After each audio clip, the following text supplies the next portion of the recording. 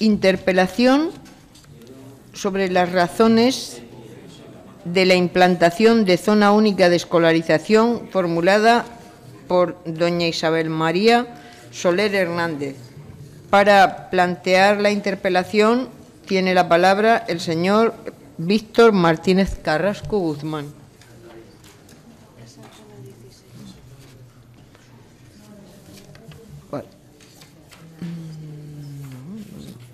Una interpelación, espera un momento, son diez minutos. Esperar un minuto, por favor.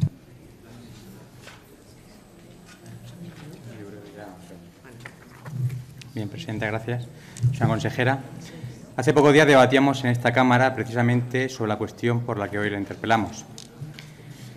Se expusieron por el resto de grupos parlamentarios, como es razonable, distintos puntos de vista concretados en propuestas que alimentaron un interesante debate. Dado que la proposición debatida fue rechazada, sería importante conocer de primera mano qué razones están llevando a la Consejería a defender la zona única de escolarización. Conocer qué razones se estima que son positivas y si es cierto que la zona única de escolarización va a provocar, como aquí se manifestó, la aparición de guetos, por ejemplo, o si ello va a generar problemas de escolarización en alumnos con necesidades específicas de apoyo educativo, o si existe rechazo a este criterio de escolarización por parte de los padres, o por contra, si es aceptado mayoritariamente. Si esto supone un problema para la educación pública, como sostienen otros. También nos ayudaría a conocer la respuesta que existe a la libertad de elección del centro educativo por parte de las familias, o si por el contrario la sociedad reclama la vuelta a la delimitación de las áreas de escolarización anteriores al 2010. Quisiéramos saber si los municipios apoyan a día de hoy la zona única o no, o incluso si la zona única genera alta desigualdad de oportunidades, como también se manifestó aquí en el debate parlamentario. Por tanto, señora consejera, y para aclarar estas cuestiones es por lo que le solicitamos nos explique las razones por las que se ha acordado la implantación de la zona única, la zona única de escolarización. Gracias. Muchas gracias, señor Martínez Carrasco. Para responder tiene la palabra la señora consejera.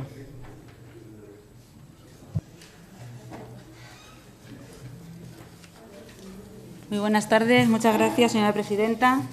Señorías, la inmensa mayoría de las localidades de la región de Murcia, incluyendo Lorca, Cieza o Yecla, son zonas escolares únicas y algunas de ellas desde hace muchos años. Y no ha habido problemas en esas eh, ciudades que acabo de mencionar.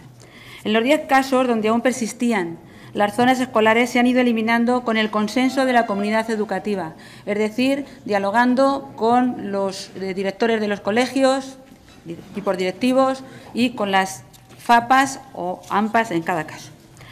Las zonas escolares fueron trazadas hace ya muchísimos años eh, cuando eh, la fisonomía de nuestras ciudades, la composición social de nuestras ciudades y las necesidades de las familias eran muy distintas a las que son hoy en día.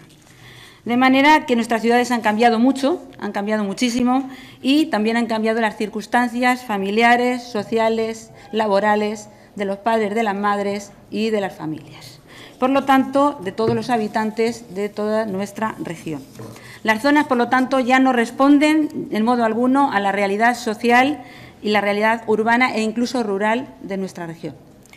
Supone trazar esa zonificación, ¿eh? supone trazar fronteras invisibles entre nuestras ciudades, que limitan eh, entre nuestras ciudades y en nuestras ciudades, también dentro de las ciudades, que limitan la capacidad de los padres para elegir el colegio, aquel colegio que quieren para sus hijos y que no tiene que ser necesariamente el que tienen en su barrio.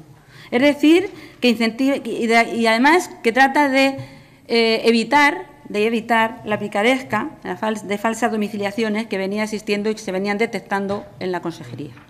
Porque al final muchos padres no querían llevar a, sus hijos a la zona que les pertenecía y utilizaban esas eh, falsas domiciliaciones. Por lo tanto, evitamos también eso en aras de la transparencia que todos queremos en estos momentos en esta región. Estamos inmersos, por lo tanto, en un proceso en el que en los últimos dos años se han ido eliminando progresivamente la zonificación de las localidades en las que aún existía. Y la previsión es que si los datos, si los datos no nos indican lo contrario, todas quedarán eliminadas para el próximo curso. Señorías, vamos en un modelo educativo que otorga una mayor autonomía a nuestros colegios e institutos, Un modelo que además no es que deriva de la LONCE, como se dice. La autonomía de los centros no solo la pide la LONCE, que también, sino que también está ahora mismo recogido en el Pacto de Ciudadanos y el Partido Socialista a nivel nacional. Y, por lo tanto, puede afirmarse que el, querer más autonomía para los centros eh, tiene un consenso a nivel nacional. La autonomía de los centros, por lo tanto, va ligada, va ligada a la potenciación de diferentes proyectos educativos y servicios también diferentes, comedor, bilingüismo, en diferentes idiomas ya, eh, en diferentes idiomas, aula matinal, transporte, trabajo por proyectos de especialización en diferentes tipos de necesidades educativas y necesidades especiales, que afortunadamente atendemos eh, cada vez a más personas con eh, estos problemas, que trae consigo, por lo tanto, un gran abanico de posibilidades educativas y que las familias deben elegir para sus hijos aquellas que creen que son las mejores. Y seguramente las mejores no están siempre en el colegio que había en su zona, pueden estar en otra zona. Fíjese si estamos evitando las desigualdades, como me preguntaba el señor diputado, que se suponía que en un barrio mm, pues de unas clases sociales eh, determinadas no se podía salir de esa clase social o no salir de ese barrio porque la zona lo impedía, ahora no lo impide. Y los padres pueden elegirlo en primera opción. Por lo tanto, estaríamos rompiendo esas barreras, rompiendo esas desigualdades.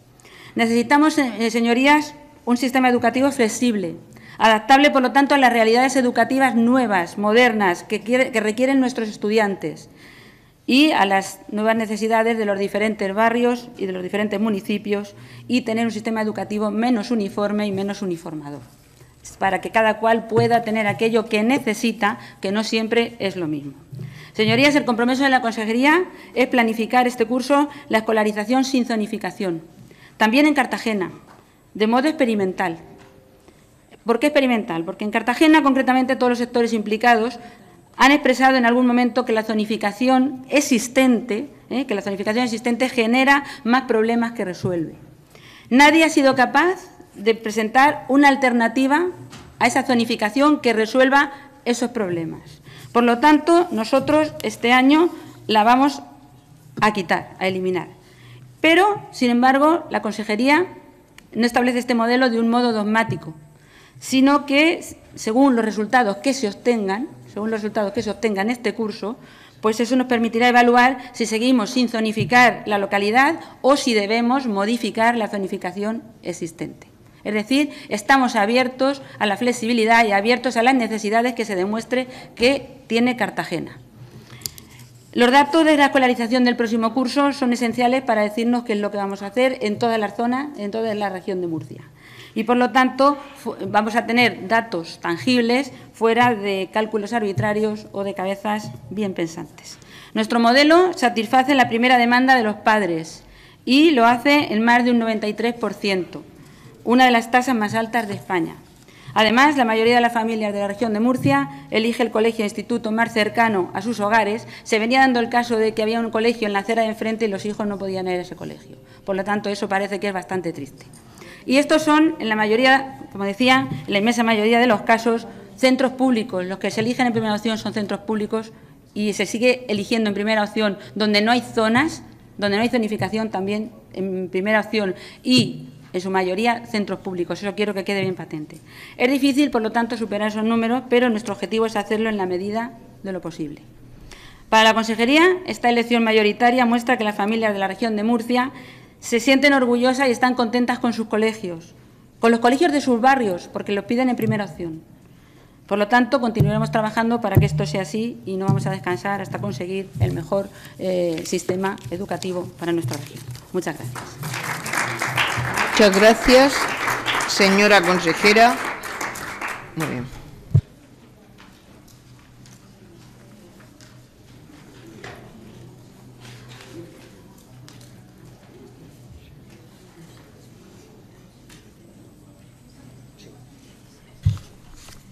Pregunta oral